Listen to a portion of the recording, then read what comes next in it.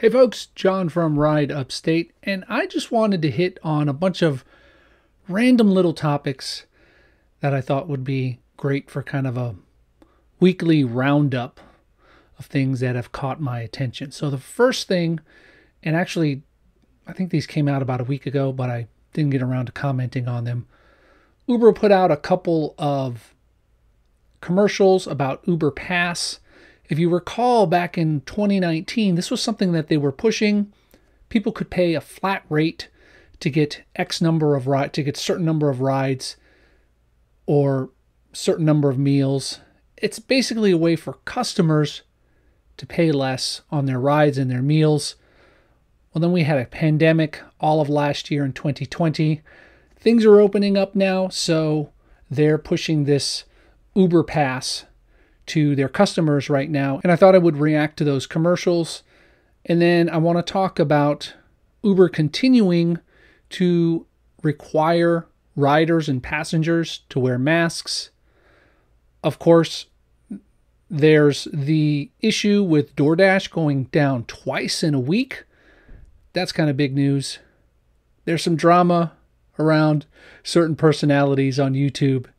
And of course, there's some other miscellaneous things I want to throw in there as well. So let's watch these advertisements for Uber Pass and then let's talk about it a little bit more.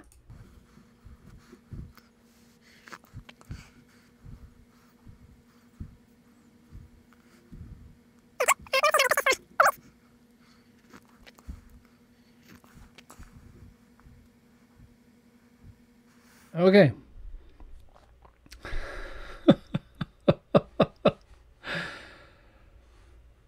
So they don't really talk about the benefits except, hey, you know, save on each ride, which is a great benefit, obviously, and save on delivery fees, but they don't really get into the details of it in the commercials. So since they don't talk about what you actually get, let's take a look at their website and uh, see what you get. So here is the Uber Pass website. It talks about the benefits. Now, again, this is for customers.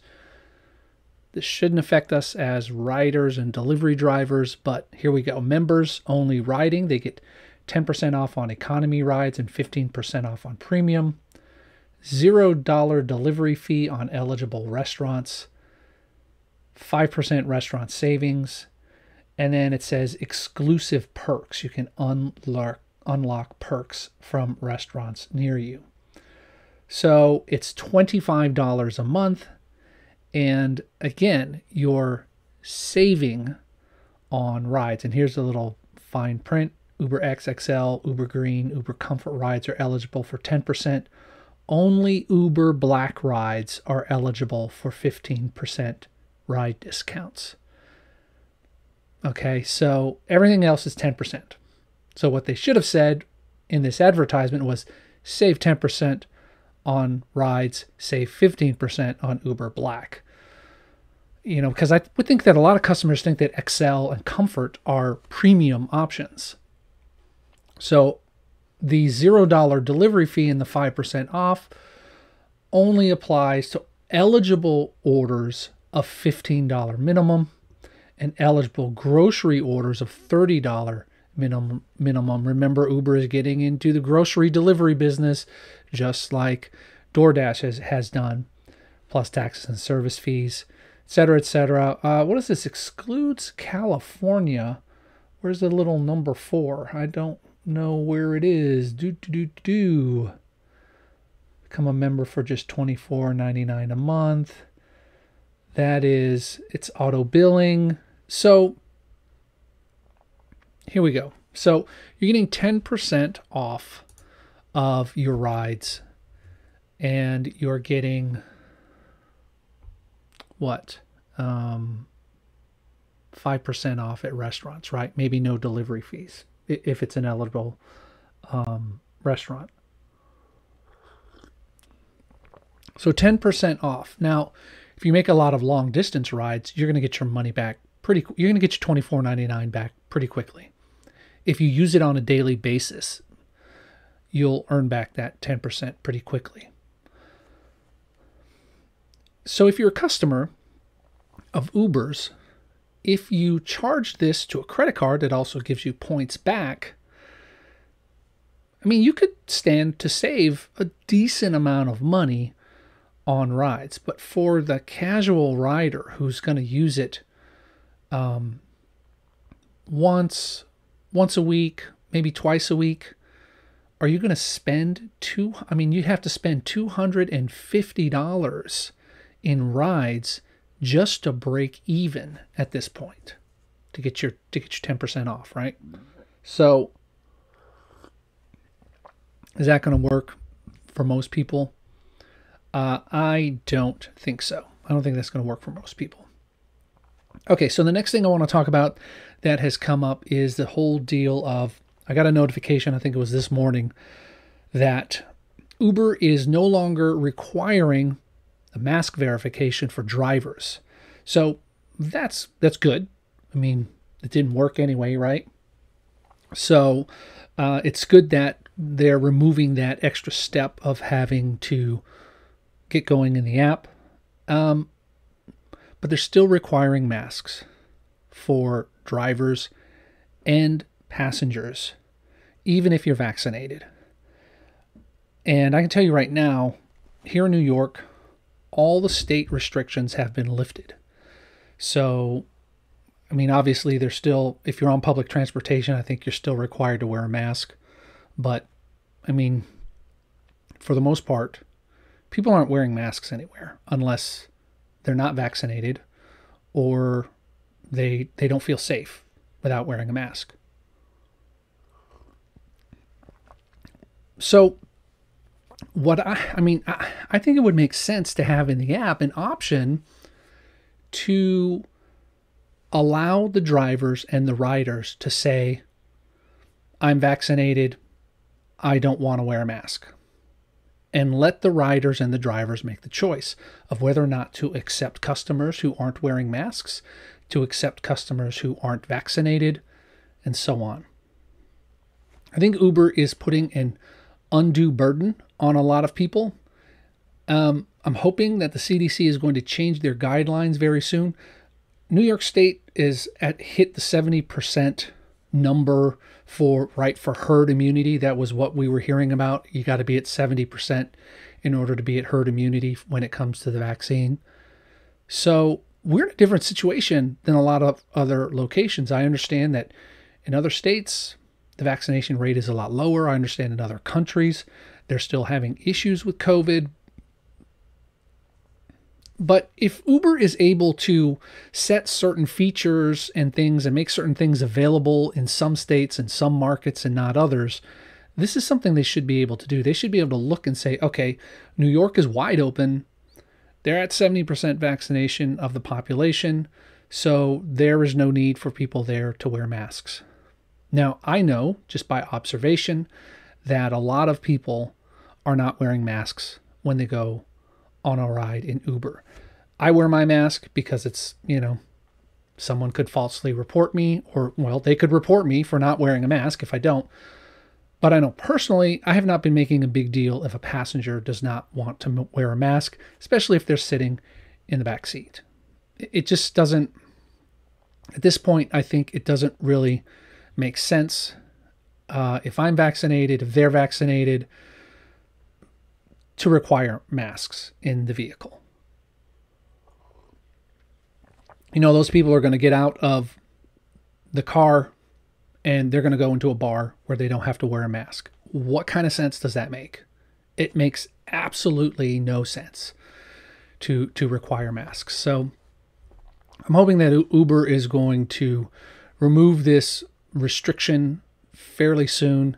I'm hoping that the CDC is going to give maybe some expanded guidance and say, look, if you're in a state where the vaccination rate is so high, you don't need to wear masks on public transportation or rideshare.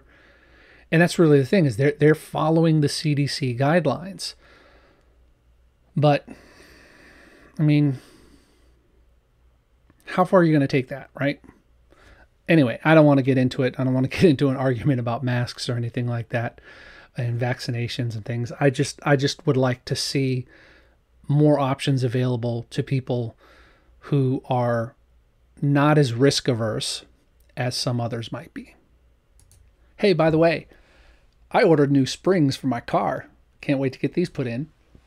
Car was riding a little low, so I ordered new springs and uh, gonna have a buddy help me install them. Remember, you can save a lot of money doing maintenance yourself. Something like this on a Prius is super, super easy. It's like six bolts and I can have the springs replaced. The shocks are a different story. That's going to be a big mess uh, when those get in, but springs are in, so that's good. Uh, DoorDash, right? DoorDash, holy smokes, has for some reason or another been crashing the last couple of days. They're, they've been making some changes to the app. So now chat mostly happens in app. Uh, I, I don't know. I haven't, I haven't done any deliveries on DoorDash in a couple weeks, so so I'm not 100% sure. Right? So they moved navigation into the app. They're moving the the chat into the app, and I think the reason they're moving the chat into the app is it's just more secure for the end user uh, and for the delivery drivers. I saw someone on Instagram mention that oh I can't send people memes anymore. Well, that might be part of the problem. You know there are some people out there who have no boundaries and they will send you pictures of things that they shouldn't send you pictures of and they will do it through DoorDash or they'll do it through text, right? So I think this is a better option to have the communication inside the app. It allows you to uh, go back and see those tra- those uh, conversations a lot easier. It allows DoorDash to track it a lot easier. It allows DoorDash to see if comments were made that shouldn't have been made a lot easier. Whatever. But DoorDash being down twice in a week, I think it's because of these new features. They've added on these features, and as they roll out these features, it causes undue stress on their systems, and the system goes down. DoorDash is growing fast. They have grown fast. And I think they're trying to make improvements and changes to the platform but unfortunately they're not getting tested in the way that they need to be tested first. And so that's why we're seeing these outages on the platform. For those of you who don't know, I do IT as my full-time job. I've been doing it since the 90s. So I understand how all the, this testing cycle and everything goes and it can be pretty tough. It can be pretty tough. You think you've got a problem licked and you roll it out, and what happens is when a bunch of people start hitting it at the same time, you have issues. So hopefully that will change in the near future and the platform will stabilize. We got another weekend coming up, so we'll see what happens. So there's been some drama on YouTube lately about the lowering of the base pay and some people who've made some videos around it. I'm not going to mention names. I don't want to get into the middle of it. If you've been around, you you know what's going on, right? You, you know the dealio. You know who's saying what. If you're watching all the different gig tubers, you know. And I mean, there have been some interesting and and uh, humorous rebuttals to this one person's remarks, and Uh, you know what what are you going to do? Listen, people have their own opinions about how they think things should be done. And it's okay for them to have a different opinion. I just realized I still have my headphones in and I don't have to have them in because I'm not listening to videos. Anyway, people are going to have their own opinions. That's the way it is. And whether you think someone is a company shill or not, um, whether you think someone's attitude could be better, you know, I think everybody's attitude could be better. One of the most positive people I see online is Pedro DoorDash Santiago. And shoot, I bet he would say there are things about, there are times where he could be a lot more positive. I like to try and keep things as positive as possible on here. I like to address any issues that I see with the different platforms.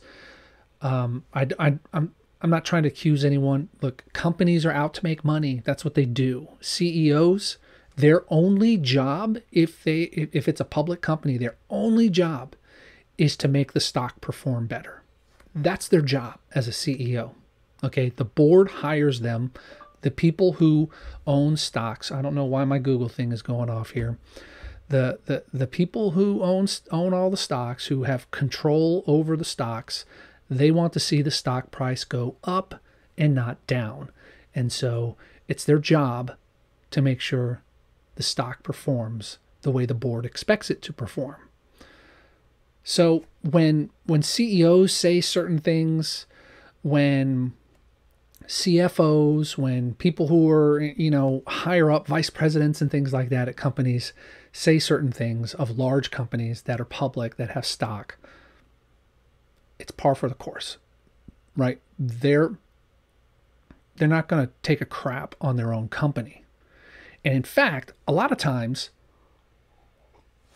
after they leave, they're not allowed to take a crap on their own company, right? Because there are these anti disparagement clauses that these people sign. When you're up there and you're making millions of dollars a year, you've got a lot of restrictions on what you can say and what you can do as a CEO. So, I mean, that's just the way it goes. When you're president, when you're CEO of these big companies, your job is to make the stockholders more money. That's your job period. Everyone else below, like once you get down into middle management, it's their job to make sure the company runs well. But at the top, it's all about image and how you're going to communicate uh, the values and the virtues of your company. That's just the way it is. And so, you know, if you see an interview with someone from a particular company, whether it's DoorDash or Uber or whatever, expect them to respond in a way that favors the company. It's always going to favor the company. It's just the way it is, right? Hey, this has been fun um, talking about a few news items and a few YouTube items. Is this something you want to see me do more? Hey, hit that like button. And uh, if so, I'd appreciate it. And if this video earned a subscription, I would appreciate it. Until next time, my name is John from Ride Upstate, reminding you that just because you're in a small market doesn't mean you need to settle for small profits. Bye.